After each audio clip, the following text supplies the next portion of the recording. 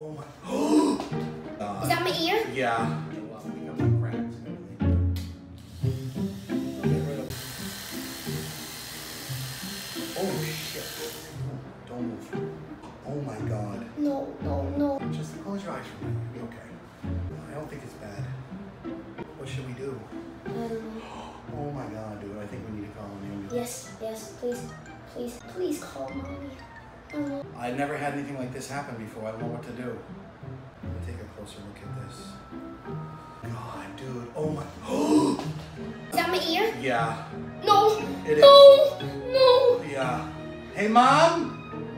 Can you Get over here second? now, now. Look at my ear. We have a problem. It's on the ground. It's not funny. We got another one. Hey, remember that roach prank? Yes. You're fine.